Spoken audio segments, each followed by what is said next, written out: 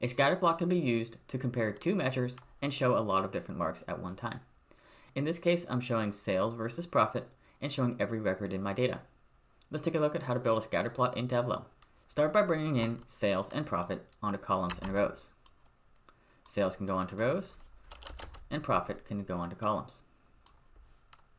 Tableau aggregates measures, so we have sum of profit and sum of sales, so only one mark.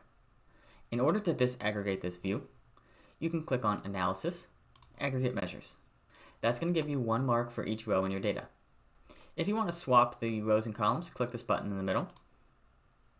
I'm going to put a copy of profit onto color and a copy of sales onto size. Let's increase the size a little bit. And we have a scatter plot. If you want to show your scatter plot at a different level of detail, click on Analysis, Aggregate Measures, and drag in your dimensions. We can drag in Region, and that gives us four circles, one circle for each region. We can also drag in Category, and we keep getting more circles for each unique region and category combo. As you add more dimensions, you get more circles.